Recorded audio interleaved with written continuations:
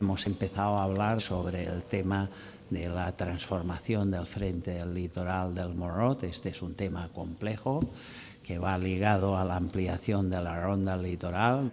Es importante trasladar la estación de mercancías del Morrot a Cantunis para hacer posible esta idea que siempre nos hemos planteado de convertir pues, el Morrot en una zona uh, pues, que no sea puerto industrial, sino que se incorpore a la ciudad.